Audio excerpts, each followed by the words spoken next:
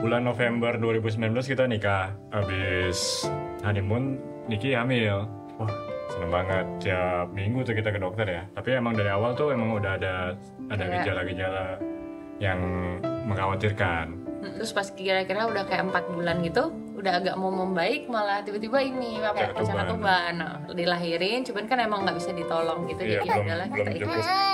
Oh, ini ceritain kakak.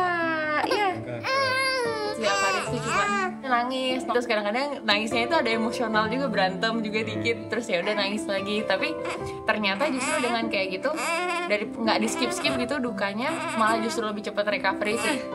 Eh abis itu hamil lagi ini si anak ini ya.